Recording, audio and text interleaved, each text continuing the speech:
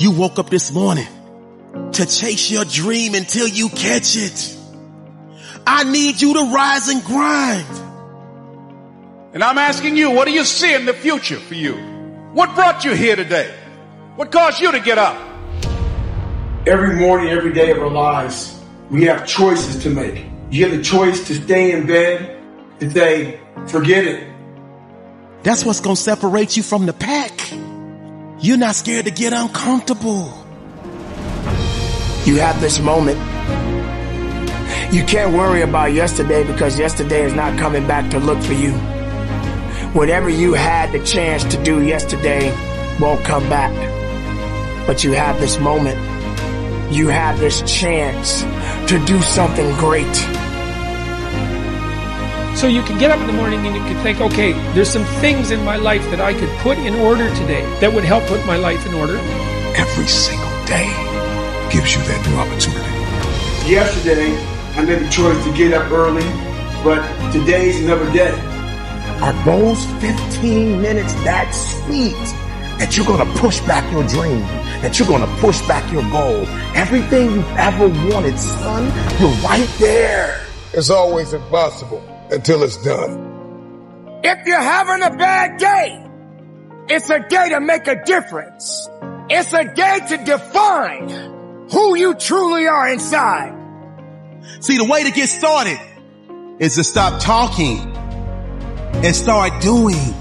Stop waiting to feel like it. Stop waiting until you see it. You got to make your life better. You got to focus on you. You got two options. You can give up or get up. This is your day. Get up and beat yourself from yesterday.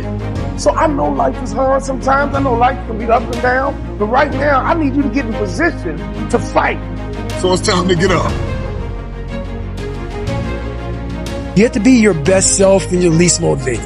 If you only did what you were supposed to do when you were motivated to do it, that's leaving it to chance. But if you're disciplined, you go do what you're supposed to do. That's the way it works.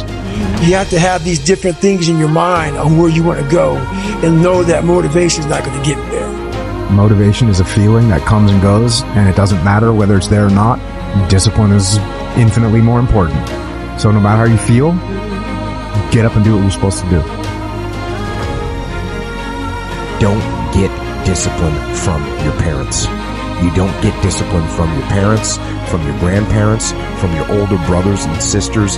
You don't get discipline from an external source. You have to get it from you.